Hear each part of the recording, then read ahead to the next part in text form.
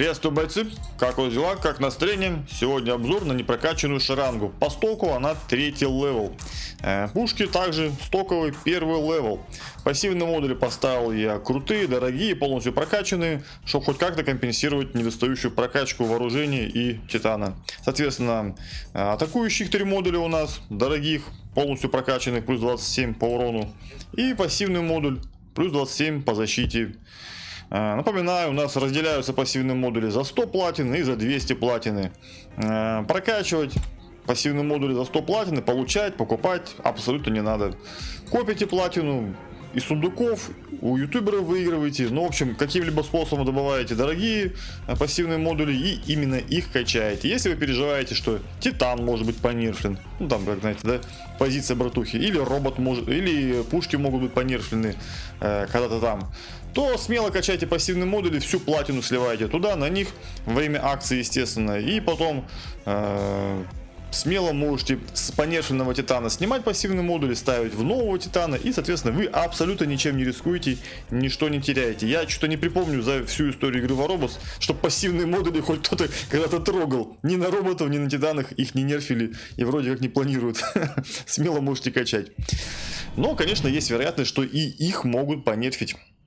Так, а у нас непосредственно Титан Шаранга. Сразу бросается в глаза, что хпшки у него как-то многовато, да? Не прокачанный, третий level 495. Ну, будем округлять в 500, чтобы удобно было произносить. 500 хп, 500 тысяч хп на третьем level е. Смотрим. Смотрим. Миноса полностью прокачанного. Полностью можете там э, это слово выделить у себя в голове жирным шрифтом. Полностью прокачанный минус. Капец, сколько платины стоит. 584. 584. Три легких слота вооружения ну, понимаете, у, шаранги три тяжелых, у этого три легких. Ну, наверное, три тяжелых будет получше, да? Ладно, Аоминг смотрим. Полностью прокачанный, 402 тысячи. Полностью прокачанный, выделяете все жирным-прижирным шрифтом. Даже смешно смотреть, даже роботы у нас имеют хпшки больше, чем Ауминг. На помойку Ауминга прокачаны полностью. Давайте обратимся к Википедии. У Алексея из Израиля как бы полного обилия титанов нет, поэтому мы обратимся к информационным табличкам. Ну, начнем опять с минуса. Э, на третьем левеле, то есть по стоку 390 тысяч. Непрокачанный минус имеет 390 тысяч. Прокачали его, становится, ну, 600. Ну, примерно в два раза увеличивается. Ну, ладно, хорошо. Ао Минг не прокачанный 267 тысяч. Третий level по стоку 267 тысяч. Прокачали, стало 400. Ну, тоже примерно в два раза увеличится количество хп. Ну, чуть поменьше там. Не в два раза, там в 1,7 на коэффициент. Далее идем. Артур по стоку 345. Кит приятно удивляет 426. Немножко догоняет Шарангу. У Шаранги, напоминаю, 500 без малого 500. И очень популярный титан Ноденс в настоящий момент разрывает все и вся. Это 362 тысячи хп. То есть шаранга это бррр, заявка на успех или если ну, рас, рассматривать меня как хейтера игры Воробус, то заявка на нерв, да. Ну тут пиксоники не правы, я не хейтер, я игре желаю только лучшего. Я просто говорю, как оно есть. я, вот, я вот боюсь, реально боюсь, э, что шаранга может быть понешена, потому что хп ХПшки прям до хрена. Смотришь Гликмана, он все убивает. Вернее, Шранга все убивает. Шранга всех валит, Шранга всех топчет. Она всех унижает, она доминирует. Ладно. По способностям, кто не знает. Первая способность это принудительный астрал. Э, нажимаете на способность, враг уходит в красный такой астрал, не может стрелять и еще замедляется. Ну вот называется фас Excel, Excel, Excel. Э, и, соответственно, применяете, когда Хок взлетает, лучом смерти выжигает, когда на вас нападает минус, включает отражение урона, нажимаете эту волшебную кнопку, все, отлично, великолепно, э, враг никаким образом вас повредить не сможет, ну еще и замедляется. И вторая способность Full Power, это Титан, у Титана исходящий урон увеличивается. Если я правильно понимаю, здесь написали в два раза в два раза увеличивается урон. Где полностью написано? Полностью не написали нам. Судя по роликам Гликмана, я слышал, что он говорил в два раза, если я правильно помню. Тут могу ошибаться. То есть данный титан я не знаю, как будто бы, получается, имеет 6 слотов вооружения, когда вы нажимаете эту волшебную кнопку. Исходящий урон увеличивается очень сильно, разрывает все и вся. А, ну, также по новостюшкам пробежимся, не связанными с обзором на шарангу. А, розыгрыш у Адриана 100 Рочи, 100 Диметр рекомендую, естественно, заполнять. Ну, там надо комментарии оставлять. А, у Арочи, у Мани. И, соответственно, Островентянин раздает, но не написал, сколько раздает. Обычно ютуберы, когда не пишут, сколько раздают они роботов-пушек, это значит очень мало, и чтобы не отпугнуть потенциальных подписчиков, они это и не указывают. Скорее всего, он раздает 5 краетов и 5 инсинераторов. Но это не важно, в любом случае у всех этих ютуберов, которые дружат с разработчиками, нужно принимать участие в розыгрышах, чтобы хоть какой-то мизерный шанс на получение э, нового контента иметь. А новый контент, как правило, рулит. Э, вот фаерболы мне дико нравятся. Просто бомбезная вещица. Всем рекомендую. Все, полетели шарангу тестировать. Итак, давайте перейдем теперь опять к Википедии. И обращаем внимание, на сколько увеличится урон а, на способность Full Power. На 40%, не в два раза. То есть, по факту, ну как бы, если провести аналогии, у Шаранги появляется э, четвертый альфа-слот. А теперь возвращаемся к игре, как раз у меня уже открыто, мы жутко проигрываем, давайте появимся в безопасном месте. Первый раз играю на шаранге, раньше не играл абсолютно. Издалека обрабатываем Артуриончика на вооружении первого левела. Красивая анимация, ага, понятно. Ничего пока впечатляющего я не наблюдаю от урона. Расстояние большое и пушки не прокачаны.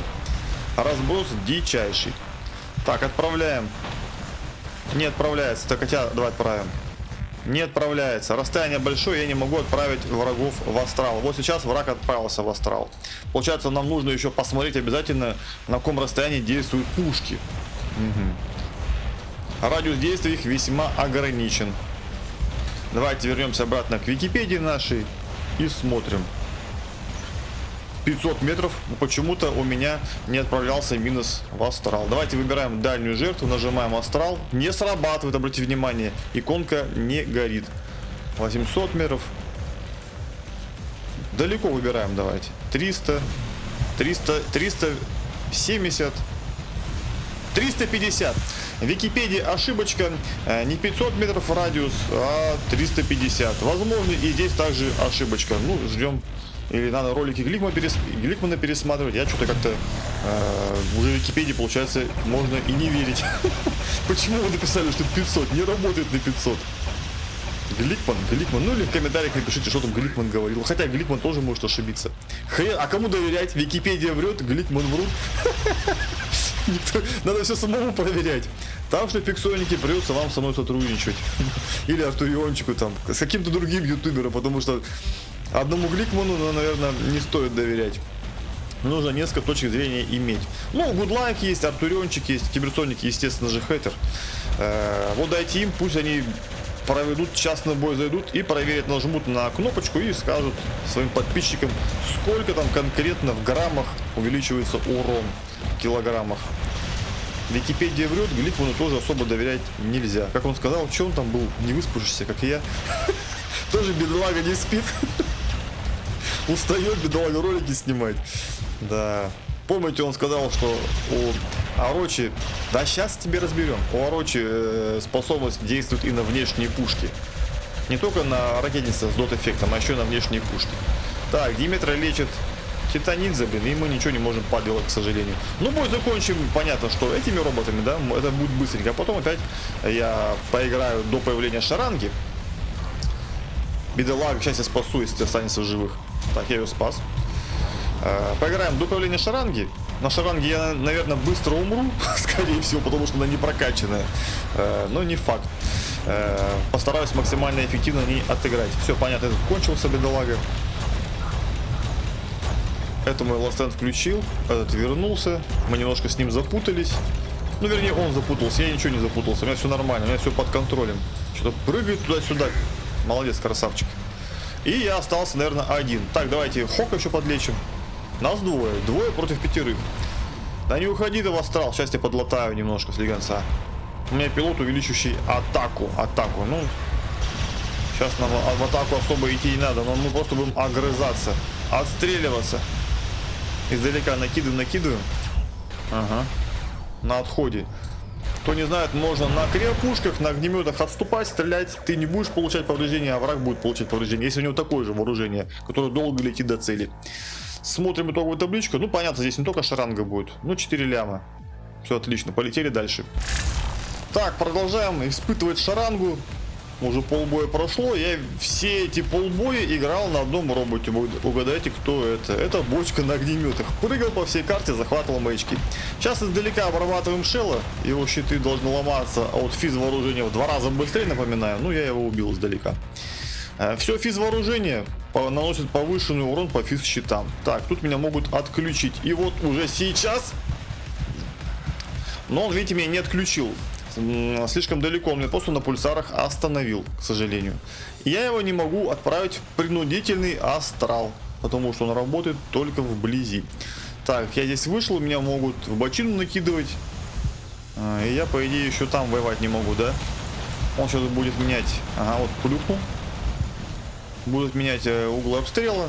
Стараться, чтобы я не смог нормально спрятаться. Так, нажимаем кнопку, не работает. Не работает кнопочка. Отправить принудительный астрал. Лучше, конечно, было бы мне там появиться, но враги э, непонятно, куда они будут атаковать. Издалека тоже не могу пообрабатывать, к сожалению. Стою здесь, ничем не занимаюсь. Просто рассматриваю, как мою команду убивают. Ну вот, могу немножко по этому поработать. 350 метров могу отправить в принудительный астрал. Возможно, надо было сделать 500. Хрен его знает. Вот стою, ничего не делаю. Ну, пусть попадает на обзор, что стою, ничего не делаю что может быть и такое. Возьмете шарангу и ничего делать не будете. Так, немножко сократим расстояние, а он наоборот разрывает расстояние. Летает, веселятся все люди. А я боюсь нос высунуть из-за укрытия. О, побежал. Потому что меня сейчас тайфун на пульсарах, ну, смотрите, сейчас застанет минуса, застанил. Сейчас применит свою способность плюх. Будет применять плюх? Не, он наступает. Наши враги, э, футана, наши отдали респ, продавили враги. Я пойду в атаку тогда. О, отключил мне все, что можно нельзя. Раз нас тут уже много на левом фланге, пойду-ка я в атаку. Понятно, не попадаю. Но заинтересовался минус. Им нужно срочно уходить. Я в себя усилил атаку, немножко грызаюсь.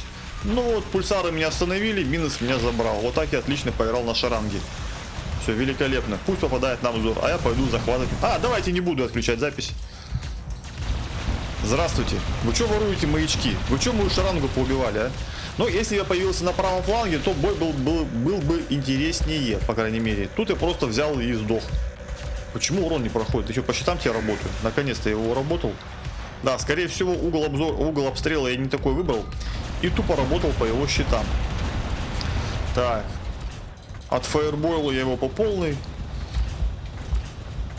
Так, он по мне попадается, к сожалению, своей верхней пушкой. Я должен тогда влево-вправо мансить. Давайте разряжаем обойму от фаерболов. Понятно, уже ластент не включил, негодяй. Взлетаем, проклинаем. По-моему, моя команда собирается бой отдать. Печально. Ну, ластент ему включил. Приземляемся на маячок. И сейчас, наверное, мы его сможем забрать. Тем более, вижу, Равана спешит на помощь мне. Да, Федоры сейчас очень живучие стали за счет своих щитов. Так, большие проблемы на правом фланге. Ну, давайте я от Кока избавлюсь.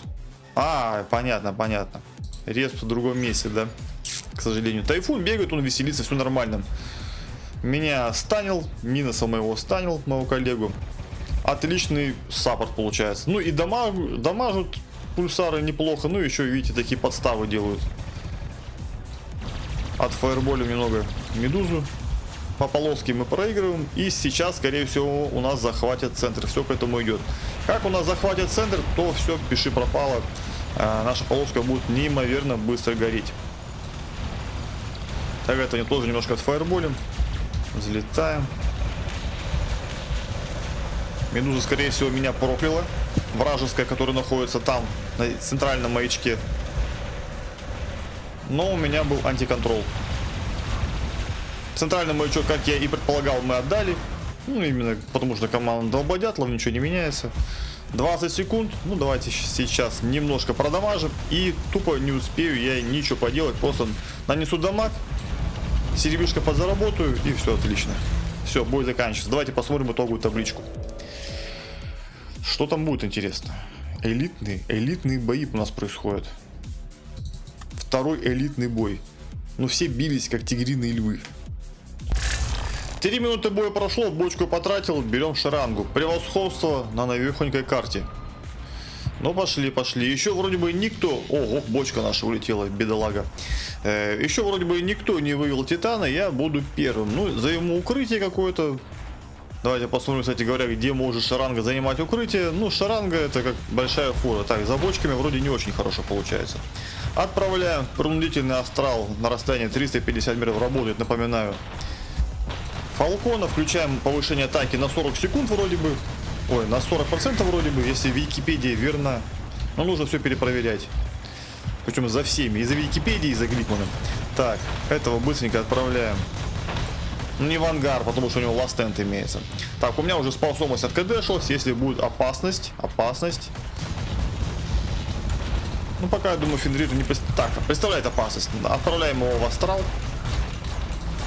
Если будет опасность, кто-то какой-то робот представляет, сразу отправляем его в астрал. Благо способность кадешится, ну, довольно-таки быстро. А, меньше 15 секунд, как я понял. Так, будем работать только от укрытий. Благо, карта небольшая, не то что на предыдущем эпизоде, где я тупо не знал, что поделать, да, и издалека не мог ни по кому вести огонь. А здесь расстояние 300 метров, да, чуть больше, ну, нормально. Не прокачанные дробаши нормально попадают. Разброс имеется, но ничего, пойдет. Зато я живой. живой и невредимый. Обрабатываем, обрабатываем бочку. Если нам нужно интересуется, буду дальше отступать или при применять принудительный астрал. Опа-на. И вам добрый день. 400 метров. Не могу отправить его. Кнопка не работает. Ай-яй-яй-яй-яй. Ой-ой-ой. Блин, да. Пол титана мне сожрали, к сожалению. Так, отступаем еще дальше. Активируем повышенный урон. Включили ему ластендик. Так, опасно, опасно. Разработчики, возможно, надо было оставить 500 метров в шаранге, а? Я боюсь выходить из укрытия. Бах. Так, повышаем атаку. Атака возросла. Ну, Фенрир такой прокачанный, жирненький, еще пушки у меня не прокачанные. Отправляем его в астрал Фенрира, чтобы он наших не калашматил. И давайте здесь пообрабатываем. Ну я на дробяках работаю, как, не знаю, как на вооружении э, средней дистанции, да. Издалека, издалека работаю. Не снайперский, конечно, вид, но и не вооружение ближнего боя. И лично я использую его. Издалека. Вооружение поддержки, вооружение средней дистанции.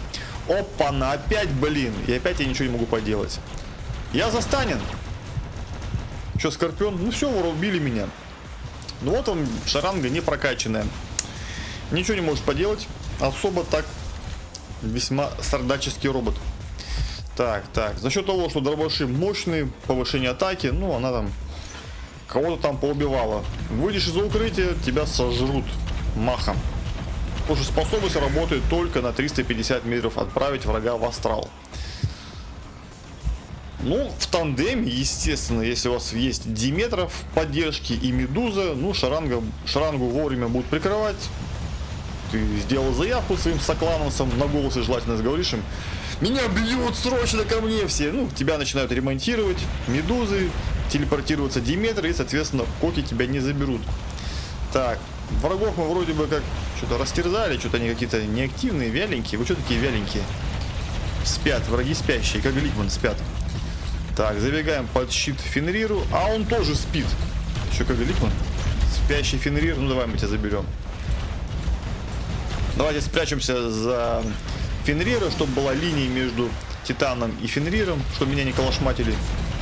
Так, так, так, так, так, так, так, так, так. Я хочу жить, я еще молодой. Давайте вот сюда запрыгнем. Я нахожусь под э, Мингом. Минг, ты где?